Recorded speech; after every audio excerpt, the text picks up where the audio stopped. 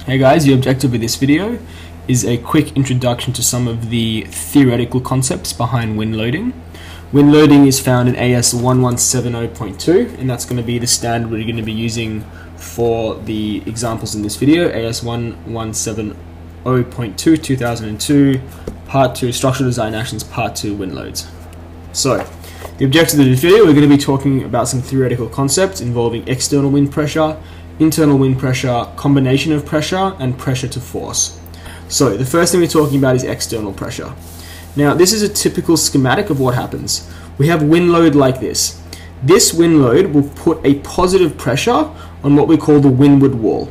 All the windward wall is the wall where the wind is hitting. Okay, Obviously, the wind can come from this direction or this direction, so the windward wall is subject to change depending on the direction of the wind. In this case, the wind's coming from this direction, so we call this the windward wall.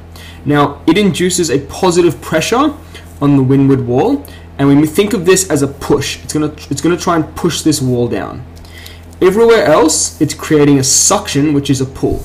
So as the wind uh, will flow over this roof, it's going to cause the roof to um, be in suction. It's going to be causing the roof to try pull up off the house. Same on this side of the roof, it's going to try cause it to pull up. And on the leeward wall here, the leeward wall is the opposite to the windward wall, so it's where the wind exits. It's also going to try pull that wall out from the building. So everywhere is in suction, and we call that's negative, and the positive we call pressure, and that's a push.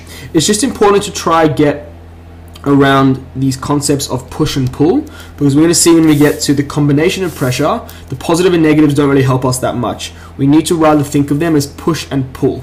So the wind comes and hits the wall, it's putting a pressure on it, which is causing it to push against the wall, whereas everywhere else, the roof and the leeward wall, we're getting suction, which is causing a pull on the roof and the leeward wall.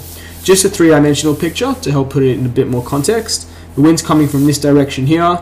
We're getting positive pressure on the wall here, causing a push on the roof and leeward wall, as well as the sidewall. I couldn't depict it here because it's 2D, but on the sidewall as well, as the wind goes around the building, it's going to